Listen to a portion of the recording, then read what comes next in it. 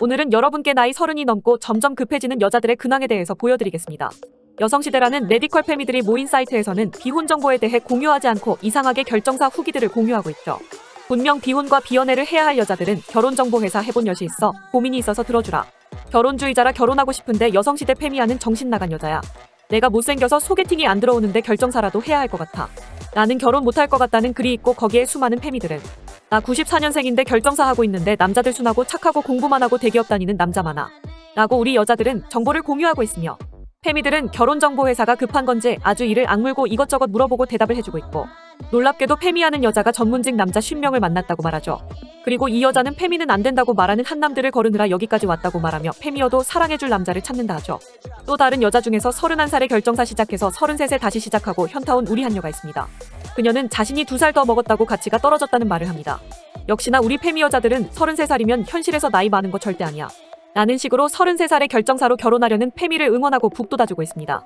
정말 놀라운 건 동일한 사이트에서 쓰여지는 또 다른 글은 기혼자를 패야해.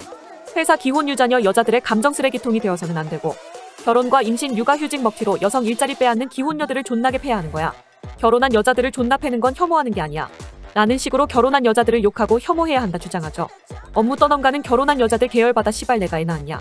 라는 식으로 결혼한 여자들을 욕하는 여자들의 분위기가 보이시나요? 이 사이트는 모순에 미쳐버린 겁니다. 한편에서는 여성의 인권을 위해서 기혼녀들을 패야 한다 주장하고 한편에서는 결정사를 통해서 결혼하고 싶어 미친 여자들이 넘쳐나는 거죠. 애 있는 기혼 친구를 패놓고 임신 준비한다고 응원해달라는 패미 친구가 있어. 애 없는 기혼 친구가 애 낳는 거 너무 무식하다 자기 인생 없는 거 불쌍하고 한심하다 욕했는데 갑자기 임신 준비하고 시험관 하게 한다네. 라는 식으로 페미년이 변절했다고 뒷담 까는 우리 여자들. 여자들 세계에서 저런 배신은 매일같이 일어나는 게 현실인 거죠. 친구가 예전부터 소개팅 해달라고 졸라서 한 명 해주려고 했거든.